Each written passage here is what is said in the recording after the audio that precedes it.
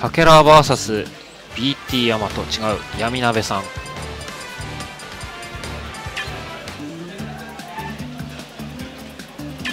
はい。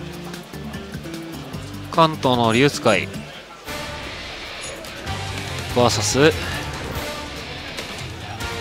リトルマック使いですね。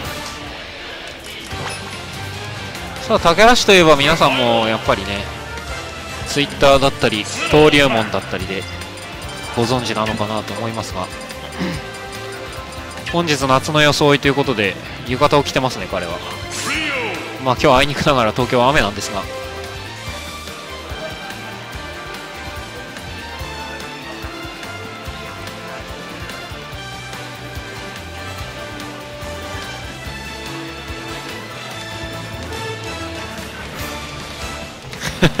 一気に腕をまくった瞬間にヤクザっぽくなりましたね。そして手にはコーラと。B クラスでのお知らせです。B クラスの決勝戦は配信となります。ですので準決勝まで進めるのでえまた指示をします、えー進んでいる方は、えー指示を聞くようにお願いします。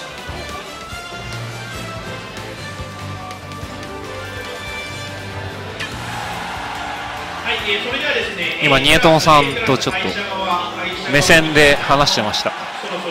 さあ1戦目武田 VS 闇鍋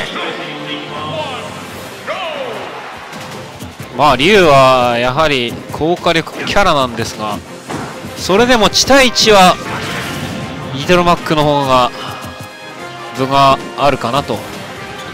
とはいえ龍やはりねリトルマックに対して何か遠距離中距離から少しずつダメージを取っていくようなそんなキャラではありませんからね。結局のところまあ飛び込みないしは空対地等で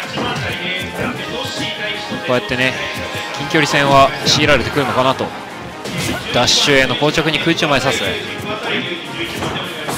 下強ガードしてるのは無理はしない。おっと空中したジャーストシールドから上強上強補正切りつかみ下強ジョルトブロー。これはあ危ないあっと素晴らしい台上に。対空系をアッパカット。さあ非常に判定は広いですからね。昇竜拳打ってきたが撃墜には至らないダッシュへをダッシュで差し返す。さあここ帰ってこれるか。帰ってこれる。浮きょ空中へ。まだ撃墜には至らない。あ痛いぞ。空中前暴れるがやはり吹っ飛び自体はあまり優秀じゃない。カンカン溜まってしまったけどこれ大丈夫か？おそらく闇鍋としてはこれはもうぶっ放すほかないでしょうね。一足丸々リードですから。ぶっ放すほかないは持ってますけどぶっ放してきても全くおかしくない。打ちましたね。さあ撃墜。まあちょっとやってもいいだろうぐらいの気持ちはかなり高い状況ですよね。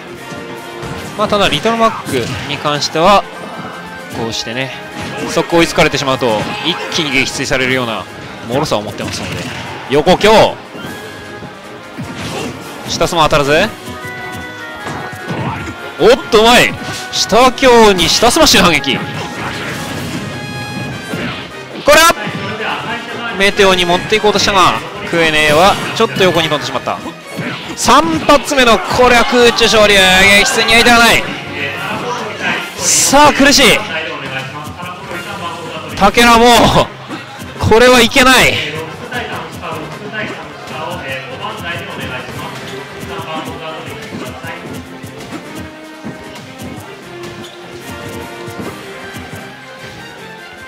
闇鍋もまあこの KO は大事にしたいこととあっと空中 KO ダメージを取りに来る。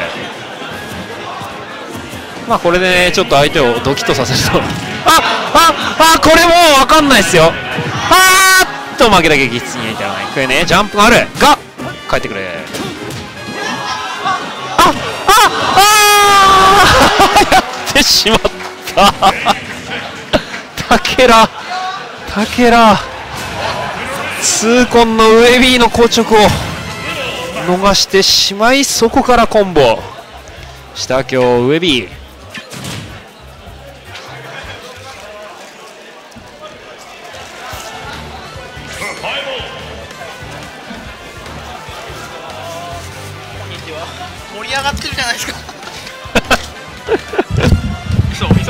みみ損ねた。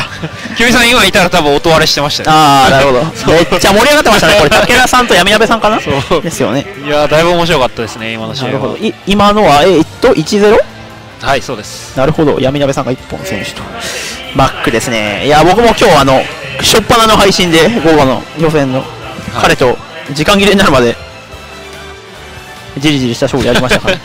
6分間大上で攻め続けたわけですね僕はね本当マック使いには尊敬するところ一つはい。あるんですけども。なんでしょう？マック戦こうやって一戦戦場の上で待ってるだけでも疲弊するのに彼らはあれを毎試合やってるんですよね。確かにそうですね。まあ人によってはフリーでも余裕でやってきますからまあまあまあ。まあフリーは別にいいんですよ。下投そのげ精神力の強さに驚きです。ああブブ。ジャンプない。さあしかし一瞬で59%のリードを得た。桜1流戦目ですね。あブない。1戦目 KO パンチ2回も当たっちゃったんですよ。なるほど。あ2回目が当たった時にあのわーってなったの？そうです。あの2回目ちなみに空中 KO でした。なるほど。それであーみたいな感じになった。ただそれであのやっぱりねそう。あ あ。あらーちょっと深読みしすぎちゃいましたね。あっとめっちゃ下がりながら打てる食えねえかさたり空中しろおっと激水さあ9ダメージしか受けずにまず1ストック。はい。せいや。ちょっと打っちゃいましたが。弱。せいや。さあワンチャン。さすがにね。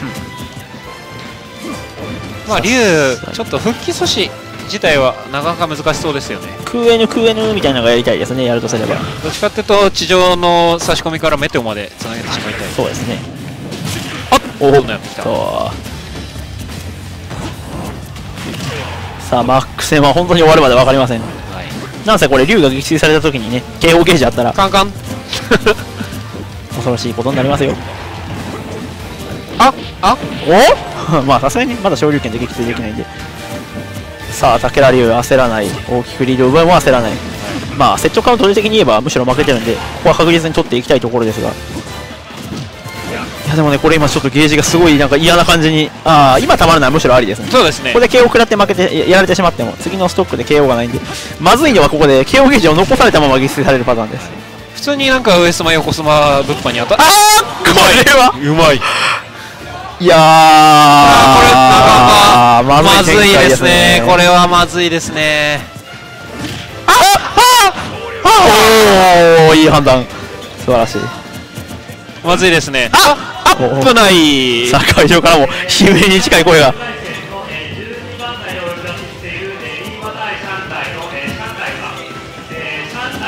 こんな時にねあのリーチが長くてとりあえずガードさせてダメだったら逃げようみたいな技があんまり理由ないんですよね。まあ空城の先端ぐらいですかね狙えるのは。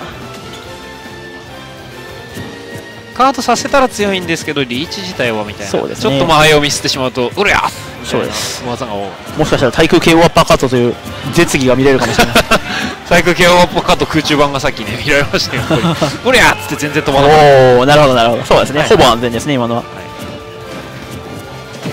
あおおこれはかなり大きい。残り時間もねまだ3分5秒。はいさあ今のいい話ですね。あと思い出したかのように。あーっと降りながらの昇竜拳。今竹内にニヤついてましたよ。それニヤつくよこんなことして。俺もニヤニヤしながら打つわあんな。おっとしっかり。密着の密着になってしまえばむしろ竜有利ですからね。はいはい。これこれはこれでは？崖上がれるか？おっと？おっと？あああああそうそして実は KO ゲージがあおお KO ゲージがもう一回溜まりそうなんですよ。確かに確かに。さあちょっとまだ分かんないですね。マックですからね。っていうかこれ多分端っこで横スマ食らって変更見せたらああっと終わり。いい差し込みでした。ジャストジャストシールド下手をカンカンっつって。当然ねあの状況武田さんももう緊張するんですけどやめやめさんも手の汗を拭いてます。お互い緊張感バリバリです闇鍋さんなんかずっとタオル持ってます今日。タオルっ子ですね。さあ次で決まります。はい。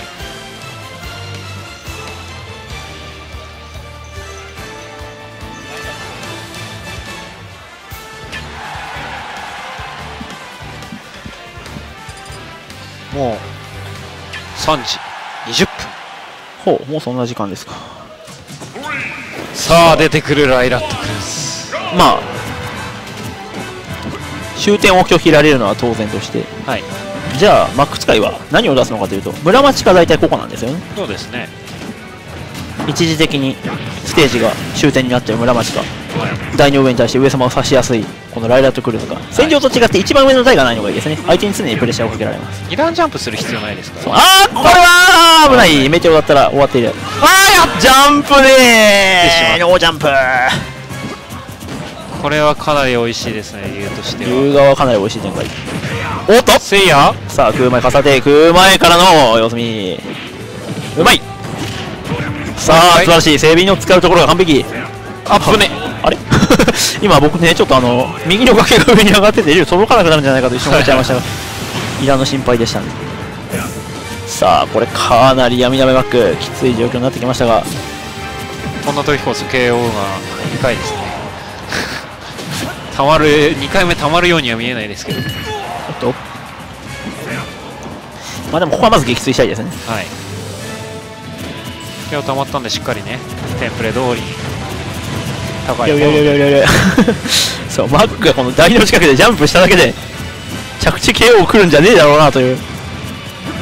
あ さあ空上です。皆さんご覧になりましたか？今のがリトルバックの空上です。150年ぶりに見ました。空上さあすごい。かわい。いこの8秒ぐらいでなされたダメージ4%計算上はこのペースでダメージを与えていっても多分ああ危ない。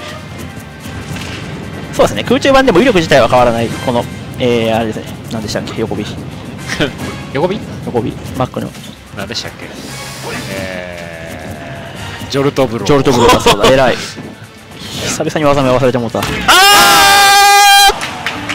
弱弱系はパカットさあ108%対0%しかしですよ。ああぶ ね。え終わったかと思った。これ？はおお先ほどからちょっと表裏あれですね。そうですね。うまいこと惑わしてるかもっと。打っても大丈夫な勝利権。もう一回ウッパン今の上ビ上ビじゃねえか今の。声が違う。さあむしろ龍がノリノリで攻めるようになりました、い。まあゲージ溜まる前に決着つけたいですよねこれ。そうですね。どっちかっていうと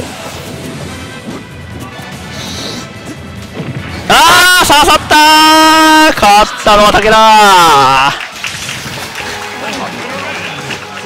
後ろで仲間のリトルマックが 地面を叩いてくれ本当だ。ゴキブリンさんが。リトルマック使いの間はあれですね固い絆で結ばれてるんですね。そうですね。仲間の敗北を自分のことかのように